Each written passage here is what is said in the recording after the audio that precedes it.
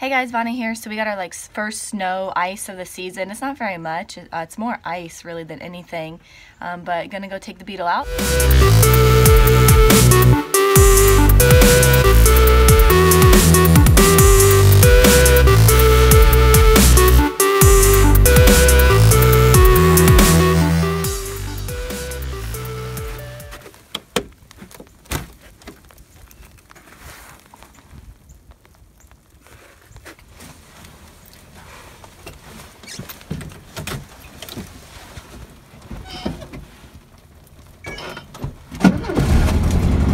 Yeah, she turns right over.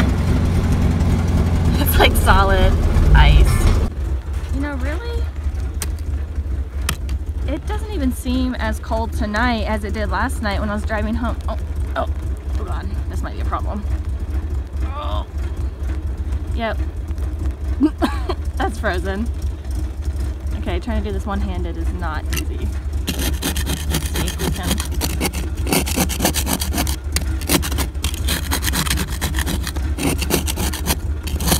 Last night, I think it was like, oh, there we go. Last night it was like 20 degrees, something like that.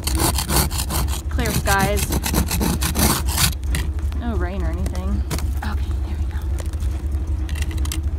Look at that.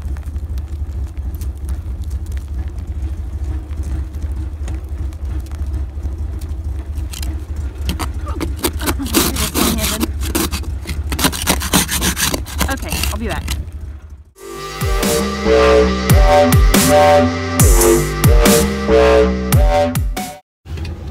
Was thinking, I really should invest in a bigger ice scraper. I literally bought this tiny guy because when we were driving across country, I literally did not have enough room in my car for a big one, so I grabbed this guy at the local auto, auto parts store so I could fit it in the car. And last winter, every time I used use this, like, I'm gonna get another one, I'm gonna get another one, and out of sight, out of mind, you just keep forgetting. And they're trying to go very slow. They're not even doing anything.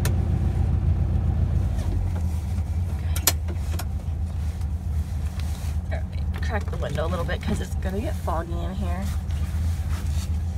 I think I'm gonna have to scrape the windshield again.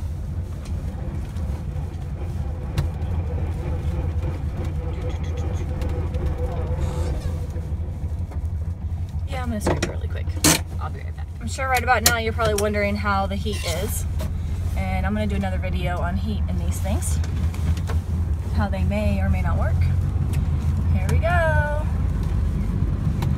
This thing is awesome in the winter, despite the fact that my windshield wipers are doing absolutely nothing. Last year in the blizzard, it did awesome. I would, I would be like driving around town. There's all these 4x4s and trucks out there, and here, here I am in my little bug going to the store. Okay. I'll see you guys next time. I'm gonna drive now.